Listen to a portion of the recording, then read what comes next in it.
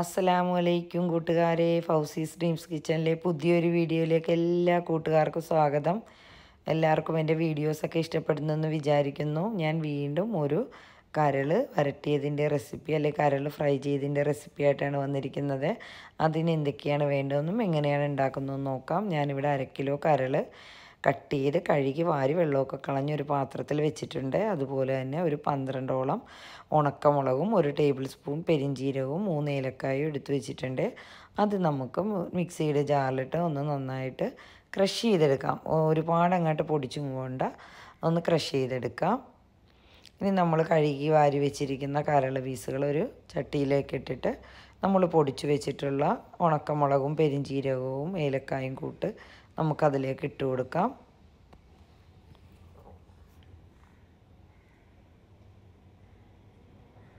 അതുകൂടാതെ ഞാൻ ഒരു ടീസ്പൂണോളം കുരുമുളക് ചതച്ചത് ചേർത്ത് കൊടുക്കുന്നുണ്ട്. കാൽ ടീസ്പൂണോളം മഞ്ഞൾപ്പൊടിയും ആവശ്യത്തിന് ഉപ്പും കുറച്ച് കറിവേപ്പിലയും കൂടിയിട്ട് ഇത് നമുക്ക് നന്നായിട്ട് ഒന്ന് മിക്സ് ചെയ്തെടുക്കാം.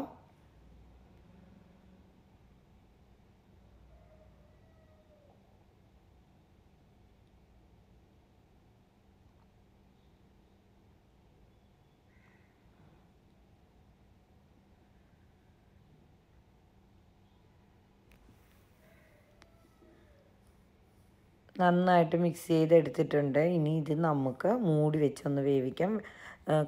കരളും ഇറച്ചിയൊക്കെ വാങ്ങിക്കുമ്പോൾ ചിലപ്പോൾ ഒന്ന് തിളച്ച് ചൂടായി വരുമ്പോൾ തന്നെ ഇഷ്ടംപോലെ വെള്ളം ഇറങ്ങി വരാൻ സാധ്യതയുണ്ട്. അതുകൊണ്ട് നമുക്കൊന്ന് നന്നായി ചൂടായതിന് ശേഷം നോക്കിയിട്ട് വെള്ളം ഒഴിച്ചു കൊടുക്കാം. പിന്നെ ഞാൻ ഈ കരൾ വാങ്ങിക്കാൻ പോയപ്പോൾ എനിക്ക് ആ കടക്കാരൻ എല്ലോട് കൂടിയുള്ള കുറച്ച് ഇറച്ചി തന്നായിരുന്നു. അത് ഞാനൊരു കുക്കറിലിട്ട് ഒരു ഇത്തിരി വെള്ളവും മഞ്ഞൾപ്പൊടിയും ഉപ്പും കൂടിയിട്ട് ഒന്ന് മൂന്നാൽ വിസിലടിപ്പിച്ചെടുത്തിട്ടുണ്ട് കാരണം കരളിന്റെയും എല്ലിന്റെയും വേവിന് വ്യത്യാസമുള്ളത് കൊണ്ടാണ്. അപ്പോൾ അതിൽ കുറച്ച് വെള്ളമൊക്കെ ഉണ്ട്. നമുക്കത് ഇതിലേക്ക് ഒഴിച്ചിട്ട് എല്ലാം കൂടി ഒന്ന് മിക്സ് ചെയ്ത് മൂടി വെച്ച് വേവിച്ചെടുക്കാം. കരളിന് ഒരുപാട് വേവൊന്നുമില്ല. അതുപോലെ തന്നെ കുക്കറിലൊക്കെ അടിച്ച് കഴിഞ്ഞാൽ ഭയങ്കര ഹാർഡായി പോകും. നമുക്ക് ഇങ്ങനെ മൂടി വെച്ച് വേവിച്ചെടുക്കുന്നതാണ് എപ്പോഴും നല്ലത്. അപ്പോൾ ഇത് ഒന്നും കൂടി നമുക്ക് നന്നായി മിക്സ് ചെയ്തിട്ട് ഒന്ന് മൂടി വെച്ച് വേവിച്ച് അതിന്റെ വെള്ളമൊക്കെ വറ്റിച്ചെടുക്കാം.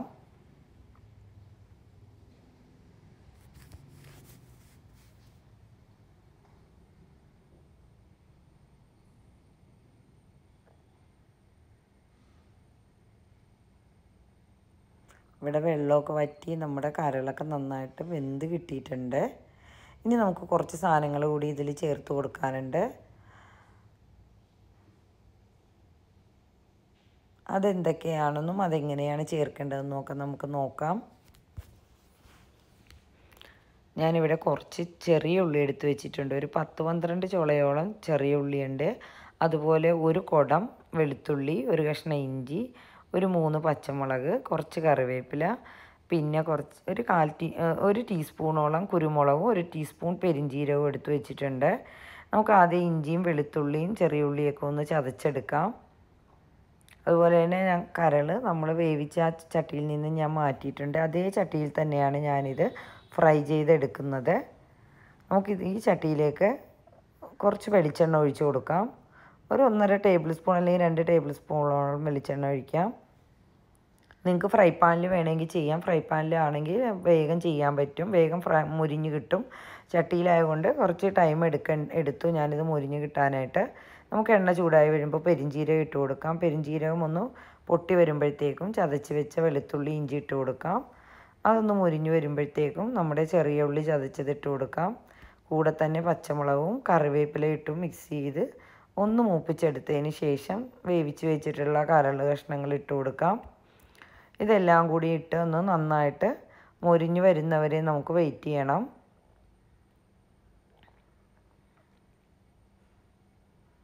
അരമണിക്കൂറോളം എടുത്തത് ഞാനൊന്ന് മുരിച്ചെടുക്കാനായിട്ട് നമ്മുടെ കരൾ കഷ്ണങ്ങളൊക്കെ മുരിഞ്ഞു വന്നിട്ടുണ്ട്.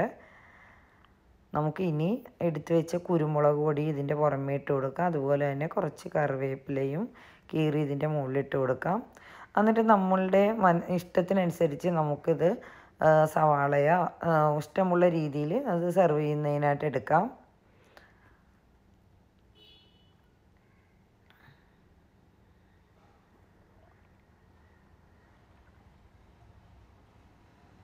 നല്ല എരിവൊക്കെയുള്ള നല്ല ടേസ്റ്റി ആയിട്ടുള്ള ഒരു കരൾ വറുത്തതാണ്. എല്ലാവരും ഉണ്ടാക്കി നോക്കണം കേട്ടോ. അതുപോലെ തന്നെ എന്റെ ചാനൽ എന്റെ വിഭവങ്ങളും ചാനലൊക്കെ ഇഷ്ടപ്പെടുന്നവർ ലൈക്ക് ചെയ്യാനും കമന്റ് ചെയ്യാനും സബ്സ്ക്രൈബ് ചെയ്യാനും ഷെയർ ചെയ്യാനൊന്നും മറക്കരുത്. ആ ബെല്ലൈക്കൺ കൂടി അമർത്തി ഓൾ ഓപ്ഷൻ കൊടുക്കുകയാണെങ്കിൽ എന്റെ എല്ലാ വീഡിയോസും നിങ്ങൾക്ക് നോട്ടിഫിക്കേഷനായിട്ട് ലഭിക്കുന്നതായിരിക്കും.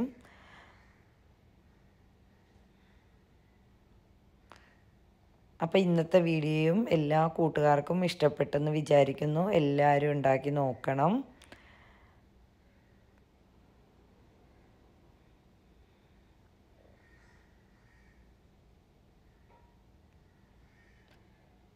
വീണ്ടും അടുത്തൊരു വീഡിയോയായി വരുന്നത് വരെയും എന്റെ എല്ലാ കൂട്ടുകാർക്കും ഒരുപാട് ഒരുപാട് സ്നേഹം. ബായ്